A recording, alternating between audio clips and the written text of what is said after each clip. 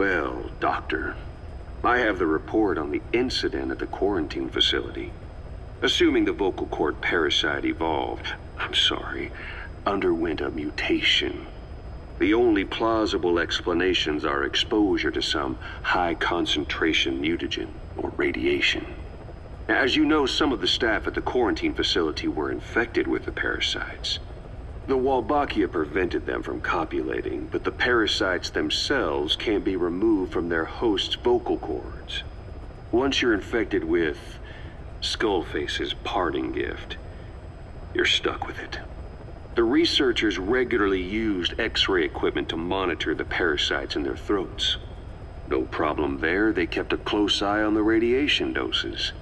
But that equipment didn't just give off X-rays. It was also emitting beta rays. Even though that's unnecessary for the scans. See, beta rays have far worse effects on DNA than X-rays.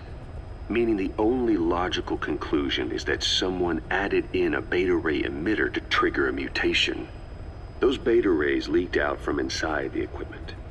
Because the emitter was retrofitted, the shielding was inadequate.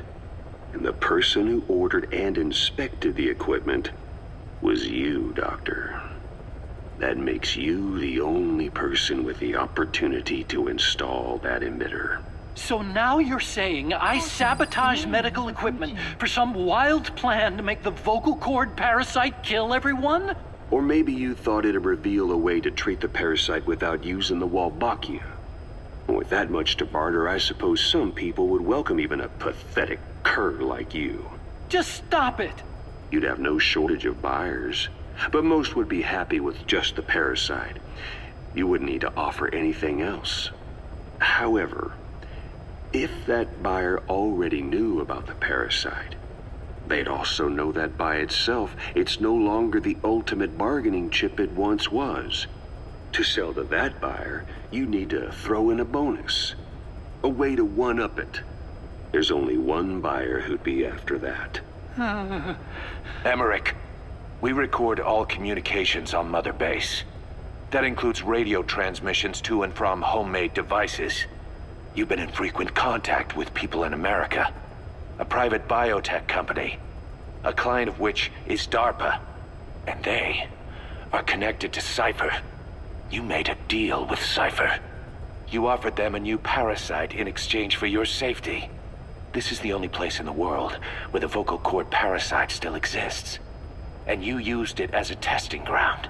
Tried to resurrect their bioweapon.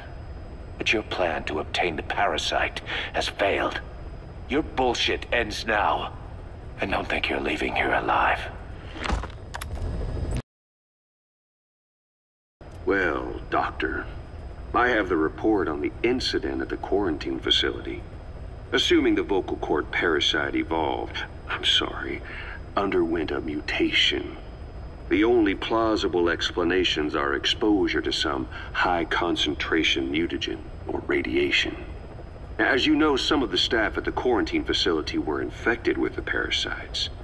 The Wolbachia prevented them from copulating, but the parasites themselves can't be removed from their host's vocal cords. Once you're infected with Skullface's parting gift. You're stuck with it.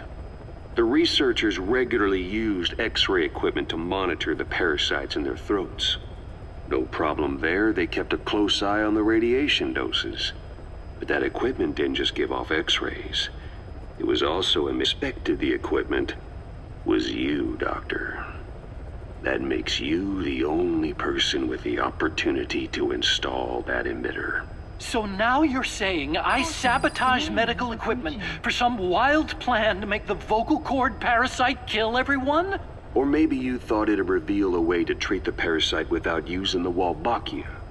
With that much to barter, I suppose some people would welcome even a pathetic beta rays.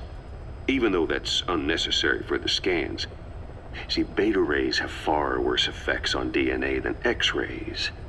Meaning the only logical conclusion is that someone added in a beta ray emitter to trigger a mutation. Those beta rays leaked out from inside the equipment.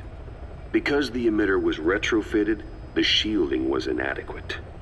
And the person who ordered and anesthetic cur like you Just stop it. You'd have no shortage of buyers, but most would be happy with just the parasite. You wouldn't need to offer anything else. However, if that buyer already knew about the parasite, they'd also know that by itself, it's no longer the ultimate bargaining chip it once was. To sell to that buyer, you need to throw